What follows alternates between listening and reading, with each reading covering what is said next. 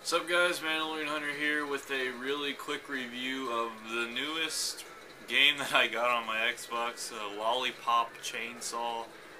If you haven't heard of this, you're probably like, the fuck is that? Well, pretty much you play as Juliet Startling, and um, she's a zombie hunter, but she's also a sexy fucking cheerleader. And I mean, this girl is sexy as hell. Like, I'm not kidding. Anyway, just get on with the game. Just by looking at it, you're kind of like, I'm, you know, this game is probably over the top, ridiculous, and it's pretty. It's I I have nothing to say about it. I felt like I was tripping when I was playing it. Now I haven't beat it yet. I'm on like level three or four, but so far I'm just like, the fuck is going on for real? Like like you're just slashing up zombies and there's like hearts and glitter and gore. Just it's just it's fucking awesome.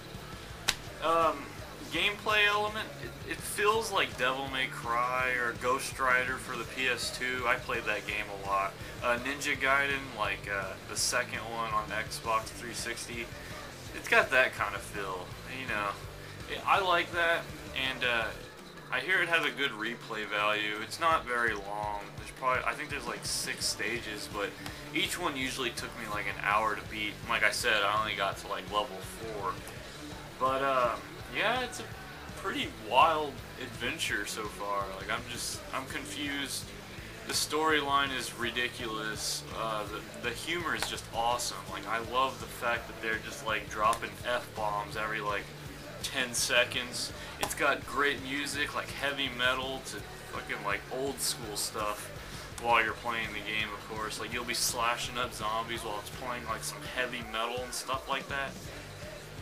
Great game so far. Like I, I expected it to be something, you know, like Conker's Bad Fur Day, where you got like a really ridiculous game, but really good. So far, this game is pretty damn good, and uh, I think you guys should check it out. It's on 360 and it's on PS3. So all you Sony fans like fucking Chad Warden out there, you can be balling when you're playing Lollipop Chainsaw.